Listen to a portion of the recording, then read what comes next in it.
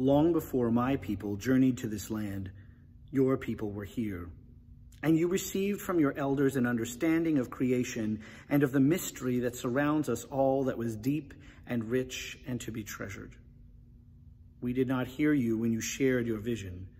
In our zeal to tell you of the good news of Jesus Christ, we were closed to the value of your spirituality. We confused Western ways and culture with the depth and breadth and length and height of the gospel of Christ. We imposed our civilization as a condition of accepting the gospel. We tried to make you be like us, and in so doing, we helped to destroy the vision that made you what you were. As a result, you and we are poorer, and the image of the Creator in us is twisted, blurred, and we are not what we are meant by God to be. We ask you to forgive us and to walk together with us in the Spirit of Christ so that our peoples may be blessed and God's creation healed. The Right Reverend Bob Smith, General Council 1986, the United Church of Canada. Good morning. For those of you who haven't met me, my name is Reverend Katie Avon. I'm the Minister of Congregational Care here at Bedford United Church. The place that we call Bedford is also called Quebec, which in the Mi'kmaq language means the place where the river meets the basin. There are multiple treaties between the Mi'kmaq Nation and the British Crown beginning with the Treaty of Peace and Friendship signed in 1725 in Lakio, Annapolis Royal, and ratified the following year in Kjipuktuk, Halifax. All of these treaties were diplomatic measures to allow people to coexist on the land. They were not treaties about the land. As such, we acknowledge that we are on unceded Mi'kmaq land we acknowledge that the Mi'kmaq people continue to live and steward this land as they have done for millennia. Today, this land is home to many peoples, indigenous, settler, and newcomers. Bedford United Church is less than 10 kilometers from two Mi'kmaq communities, both on the Hammonds Plains Road. We acknowledge our responsibility to be reconciled with all Indigenous peoples across Canada and Turtle Island. As followers of Jesus, we commit ourselves as a community of faith to being learners, listeners, and seekers of justice until this reconciliation is complete. May it be so. Good morning, church. Good morning, friends. BUC. My name is Reverend Gloria Churchill, and I'm honored to be your presider for the month of June. We gather from near and far all across Canada, and we are so grateful that we are able to do so virtually this morning. Now there's a lot in today's service, so you'll please bear with me for a moment as we have our announcements. There is a contemplative Bible study um, taking place in the month of June, and it starts next Tuesday. So if you're interested, please check it out on our website. Call the church office to register. I'm sure they'd love to have you get together for this uh, scripture study. Today, we also mark the day when BUC became an affirming congregation so many years ago, a milestone in uh, the life of our church. But we also note that the Inclusivity Committee has made a decision to have the larger celebration to coincide with the um, Pride Parade in August. Hopefully by then we'll be able to celebrate in person. We also remember and celebrate today the uh, anniversary of church union in 1925. And in the wake of the recent discovery in Kamloops, we're reminded of the promises we made as a community of faith, as a denomination. A denomination that believes in reconciliation and justice. We get, begin our worship now by lighting our candles. Now, I wish I had a sidekick like Jackson with me. He did a great job last month, but uh, unfortunately I don't have a sidekick. I did bring a teddy bear in memory of um, those children whom we mourn today. So as I light our Christ candle,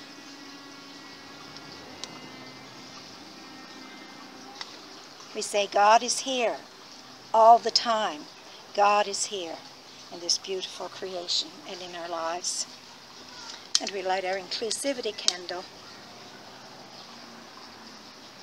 We say, all are welcome, all the time, all are welcome. I'd like to share with you now a poem by Abigail Echo Hawk. This was circulating on Facebook this week, and we thought it appropriate to share with you today. When they buried the children, what they didn't know, they were lovingly embraced by the land, held and cradled in a mother's heart. The trees wept for them. With the wind, they sang morning songs. Their mothers didn't know how to sing, bending branches to touch the earth around them. The Creator cried for them the tears falling like rain. Mother Earth held them until they could be found. Now our voices sing the morning songs with the trees and the wind. Light, sacred fire, ensure they are never forgotten as we sing justice. Over to you, Tony. Good morning, friends. My name is Tony James, and I am the music ministry lead here at Bedford United Church. Well, here in my house right now. I miss seeing your faces. I miss worshiping together with you in person. But I know that time will come again. In the meantime, we'll continue to connect our spirits through the internet. Today, as we spend some time in worship, remembering those who've been affected by the terrible news that we heard this week, Let's focus on peace, love, restoration, healing, and children. And let's lift up our God together. And I know that as we do, God's presence will fill us with joy. Amen.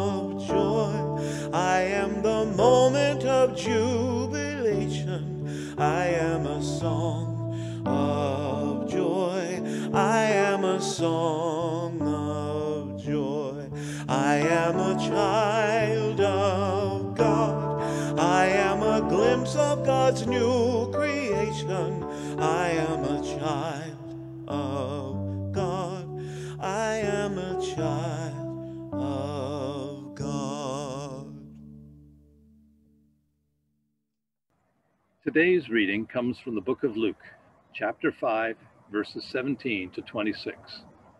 In this passage, we find Jesus, as we often do, surrounded by a crowd of people. While some have come to witness his ministry and miracles with open hearts and minds, others have come to scrutinize. It is noted at the start that the Pharisees and experts in the law are among the crowd to see for themselves who is this so called prophet and under what authority he presumes to speak on behalf of God.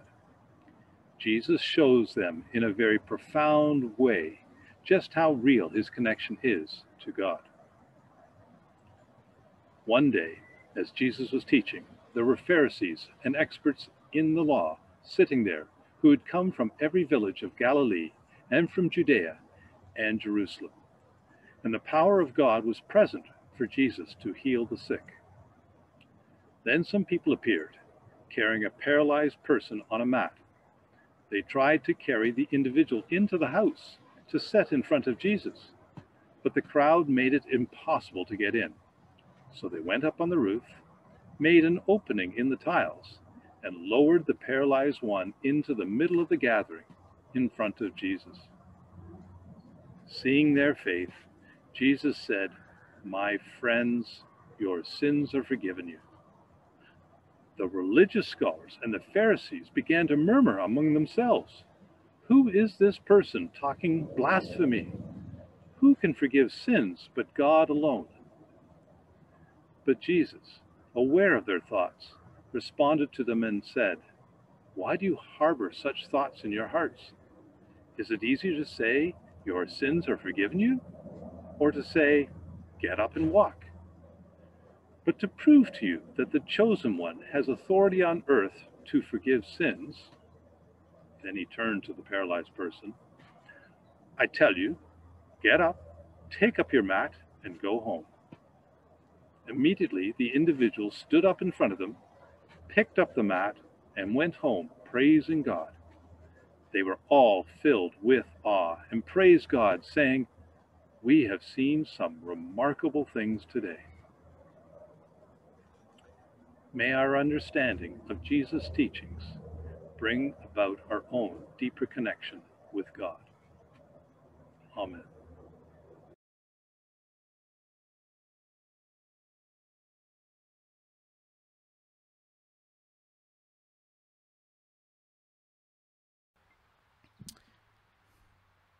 Good morning, everyone.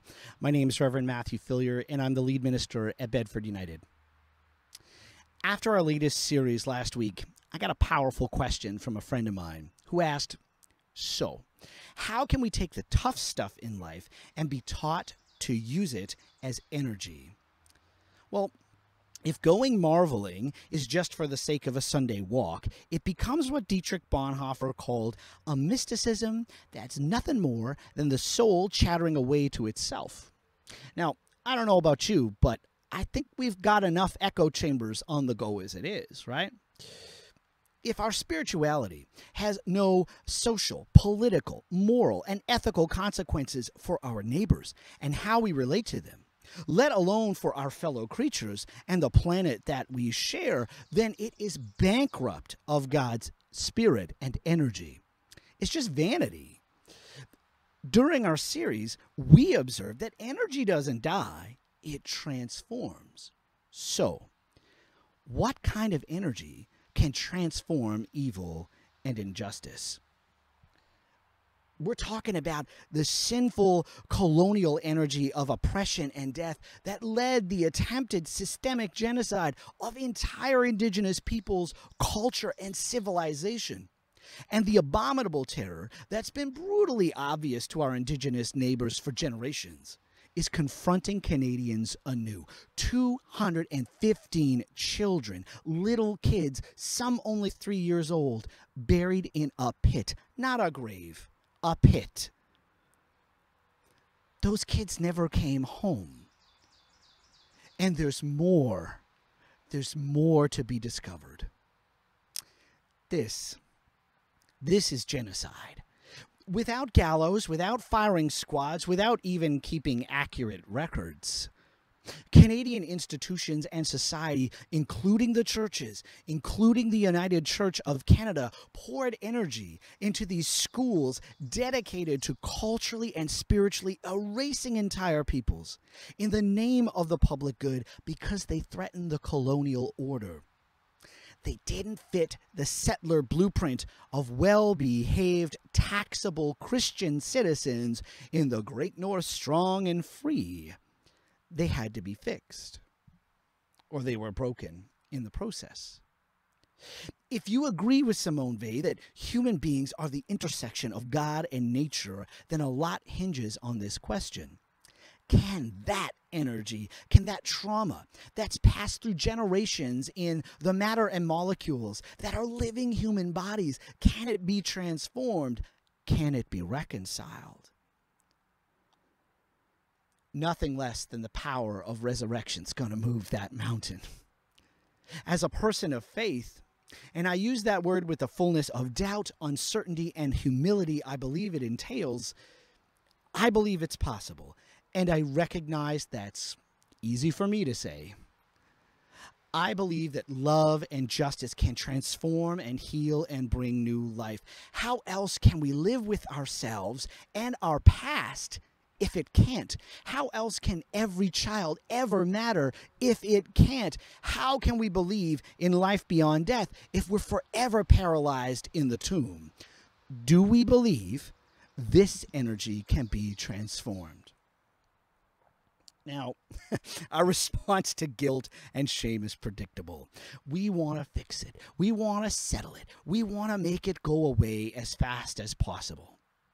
Individuals and societies seem to do this in more ways than can ever be counted, but energy can't be fixed. It transforms. You know, last week, Iris Murdoch said, Love is the extremely difficult realization that something other than yourself is real. Settlers are being called to give our fullest loving attention to our indigenous neighbors. For up to this point, we have not loved our neighbor in a way that honors the spirit of the Creator that is in everyone and everything. Remember the goal of giving the fullness of your loving attention? It was to see the other person justly, honestly, and compassionately, Doing so means we move away from universality and generalizations and labels, and we move towards increasing depth and intimacy and particularity. Well, it doesn't get much more intimate than discovering the remains of 215 children have been buried beneath our feet this whole time. For generations, Canadians have been happy to reap the blessings of the doctrine of discovery. Are we courageous enough to reconcile its sins and curses too, for the sake of our neighbor and every child that lives in this land? Are we prepared to give our loving attention that sees the other in the fullness of their truth rather than trying to hide it behind conspiracy theories and institutional uh, dickering and, and pits of death?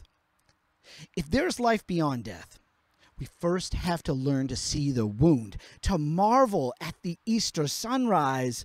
We first intentionally turn and face the cross what keeps us from reconciling the nails of colonial racism driven into the fabric of our nation? What stands in our way from transforming that into the resurrection energy of new life? Well, I think the paralysis of privilege, for starters. Now, let me explain. Suppose that you had suffered a trauma so severe you couldn't move, let alone stand. You're trapped reliving the horror cycle of abuse and death that doggedly pursues your days, infecting all your relationships, your work, your mental health, your spirit. You'll do anything to numb and escape its reach. Trauma is a living energy. It takes up residence in your bones. It doesn't let go easily. How do you get over a child taken from your arms who never came home? But your friends, your ancestors, they have faith. Faith that there is new life, that healing is possible. Your family, your elders, your siblings in the spirit, they won't give up on you. So they carry you to a source of healing where there is balm for your wounds to be bound up. But there's a problem. A crowd stands in the way, a great mass of a wall that will not move. Your friends make their plea. It's life and death down here, but the wall stands fast. You don't get the time of day, let alone their attention, because there's no room left. They've earned their spots in the mortar of the system, and there are only so many spots, don't you know? Their ancestors worked hard for the life they now enjoy. They deserve it. This is the paralysis of privilege. I can't give you my loving attention because it would cost me too much to see you as my neighbor. Your friends try to push through, but they're met with indifference and scorn. They hear, So what? You're in pain. Well, so am I. Is your pain greater than mine? If I see yours, I'm scared it will invalidate my pain and I'll lose my place in the line. So move yourselves along. We were here first, and we even planted a flag and built a statue to prove it. The wall is built in the shape of an institution and bureaucracy that leaves your friends groping for some gap. And every time they think they found a way in, they get crowded out by rules and legislation and the passing of the buck that declares your life is not worth as much as a brick. That should make everyone loony, let alone sick the trauma of residential school system lives in human bodies. It lives in this land and what has been built upon it. Can that energy be transformed? Can it be reconciled?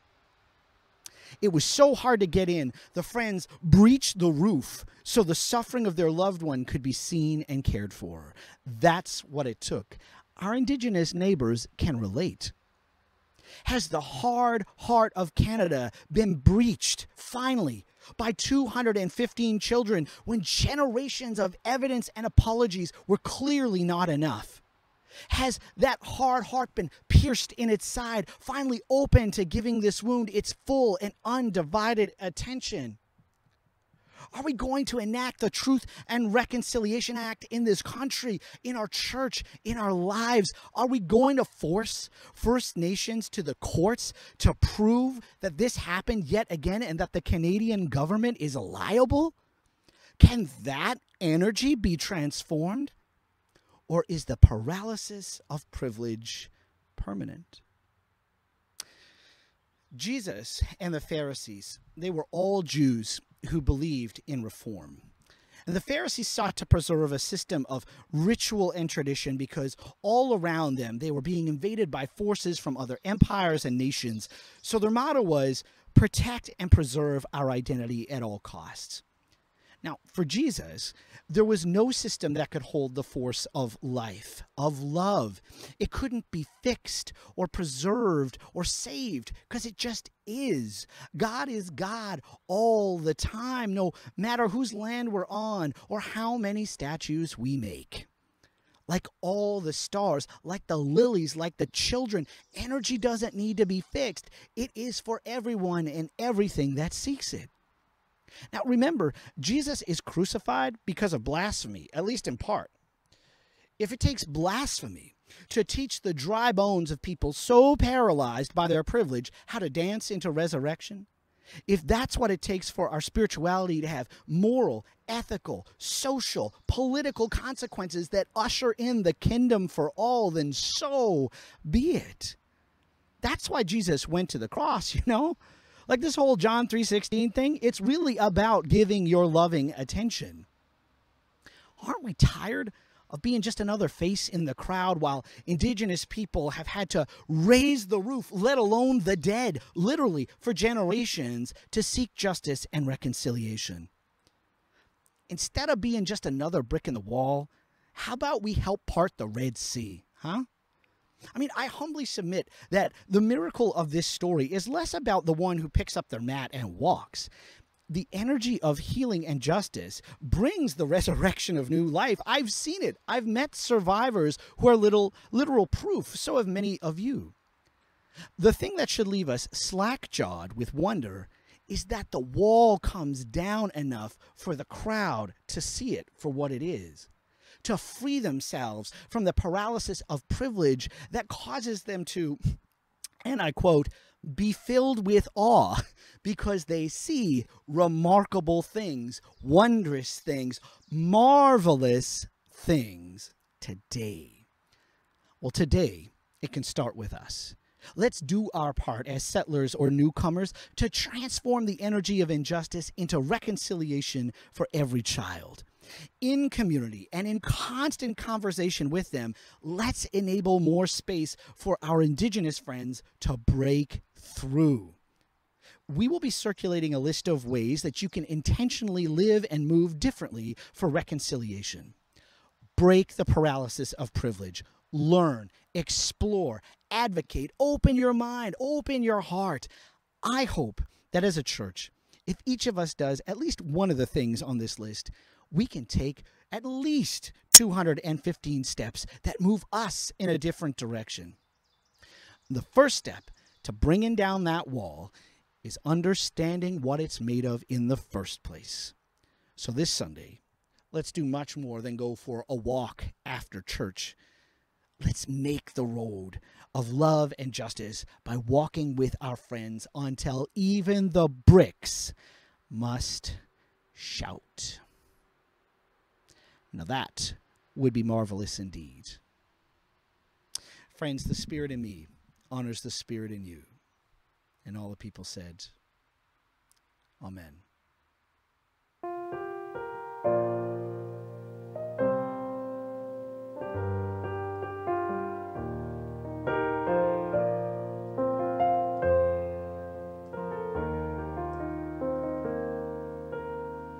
I want to go where the rivers cannot overflow me, where my feet are on a rock. I want to hide where the blazing fire of life cannot burn me. In your presence, oh God,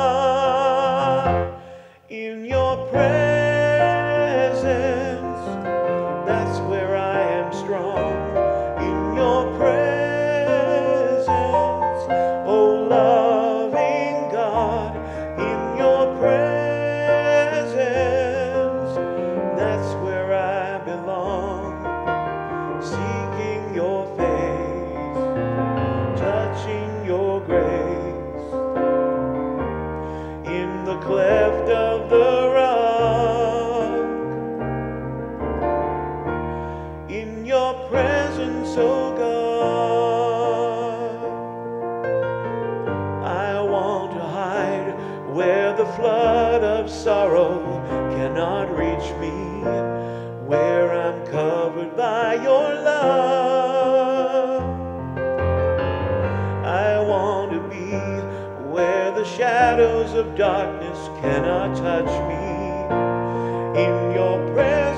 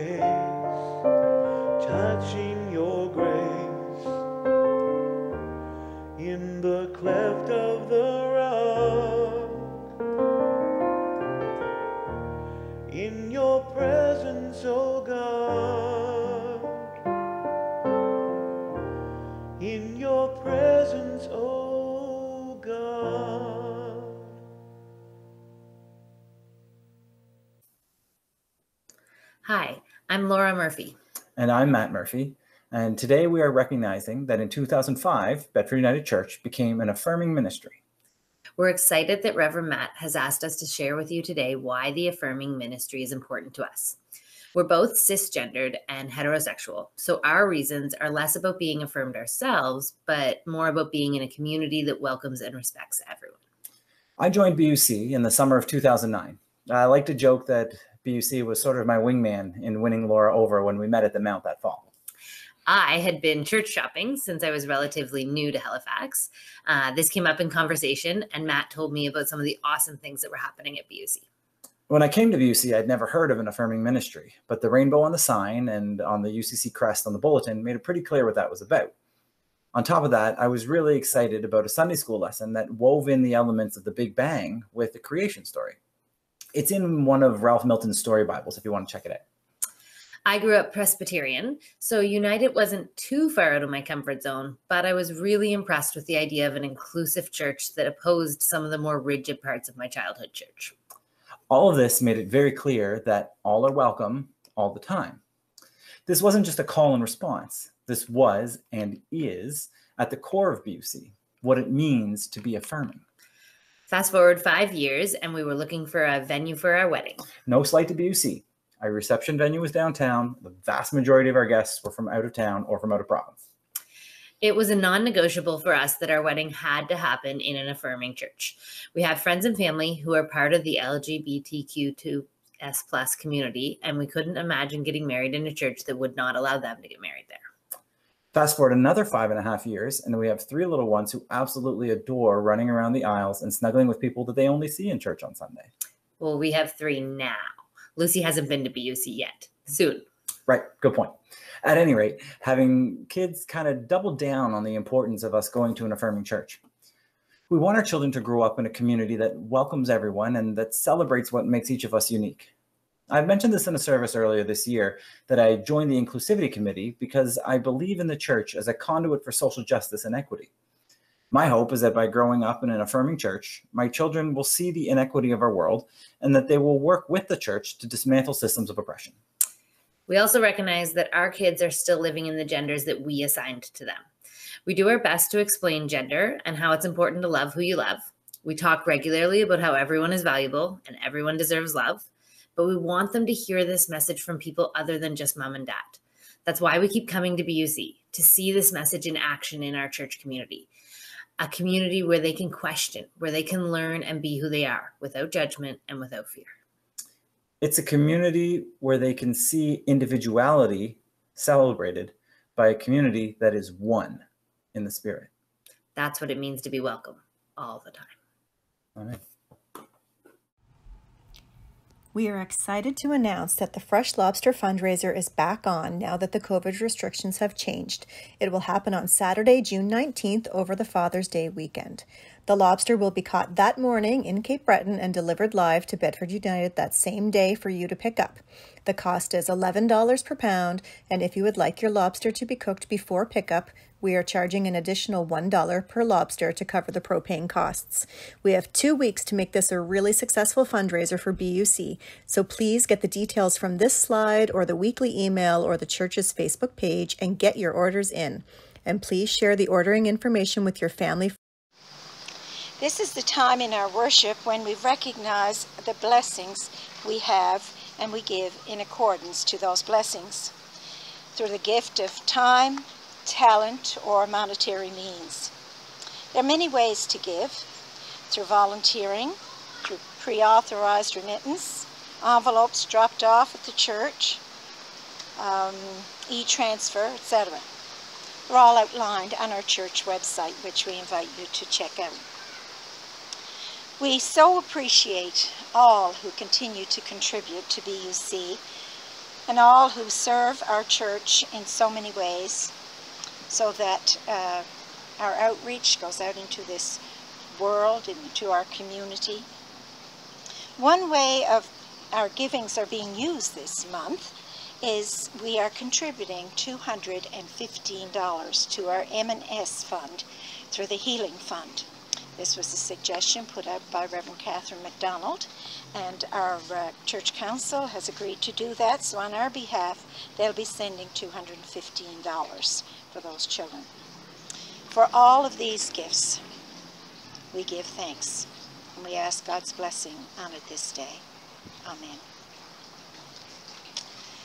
Would you take a moment with me now as we lift our hearts and our minds in prayer? Creator God, we give thanks for this day, and each day you grant us life to walk on this great land, our Mother Earth. We have so much for which to be thankful, and our hearts are full of gratitude. But there's also so much hurt and pain in some of our lives. This week we experienced grief at the death of John Ashcroft and Peter Christie, two faithful members of our congregation. And we pray for Marg, Joan, and their families. We also pray for the families who have lost loved ones through this pandemic and lift them up to you that you may bring comfort. For all who are suffering illness, undergoing treatment, waiting for test results, we pray and ask your healing spirit to be with them. For our teachers and our children as they return to school in the midst of a lot of confusion. Give us the heart and strength to come together in a time of mourning, reflection, and peace. The news we have heard these last few days of our relations, our families, the children who have been physically taken away from their families, who have now been found. May their spirits find peace and their bodies be returned to their families and homes. Holy One, let this moment of shock and horror transform us, that we might be instruments of healing through our actions, through our right actions, seeking truth, reconciliation, and justice for all your children. These things we pray in the name of our Creator and in the name of our brother Jesus. Amen.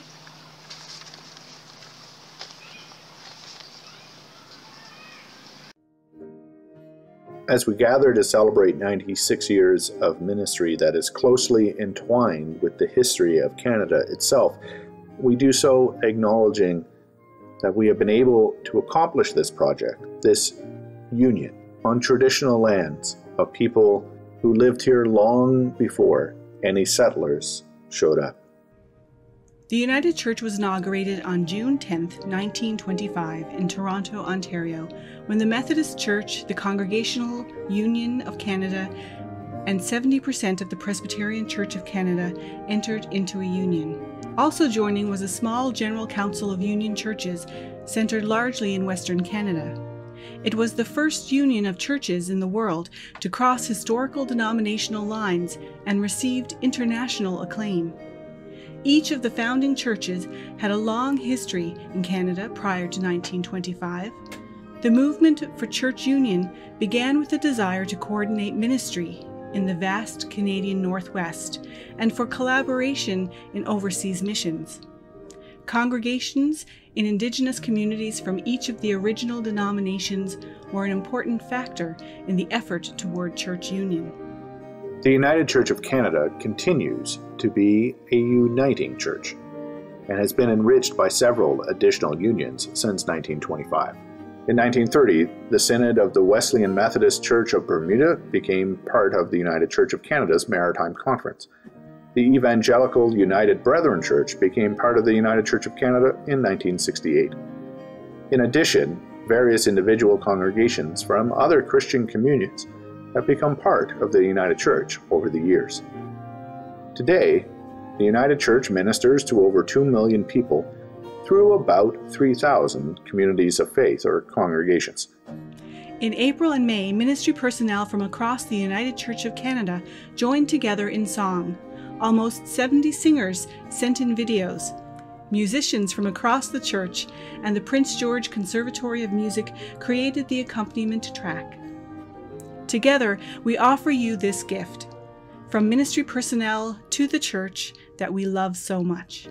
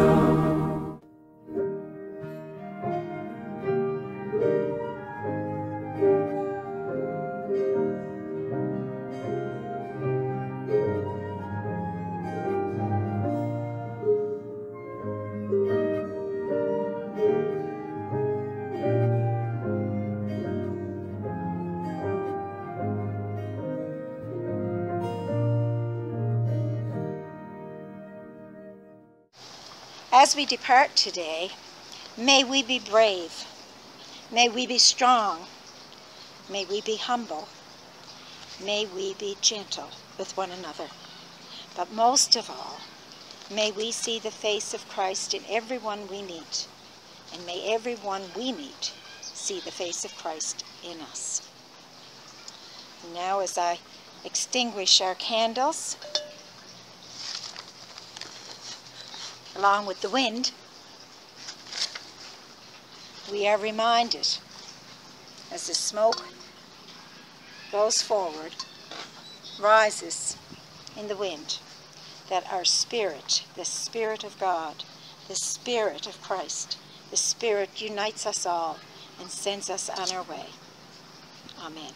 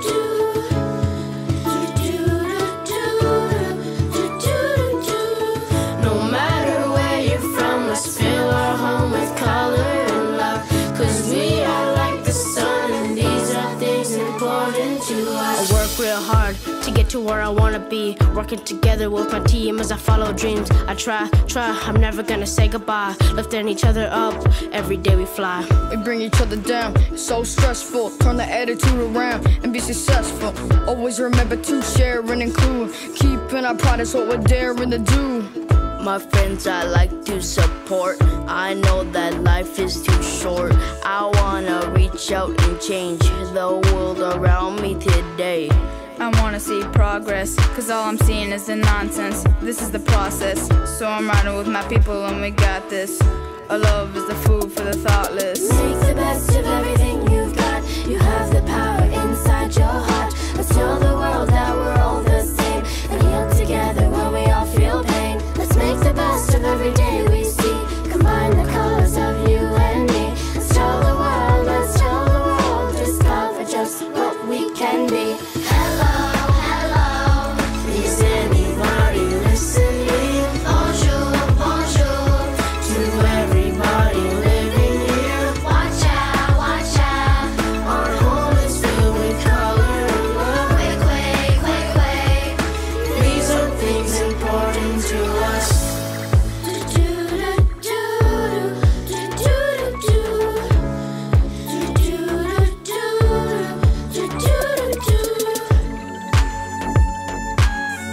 I wanna think big cause I am home.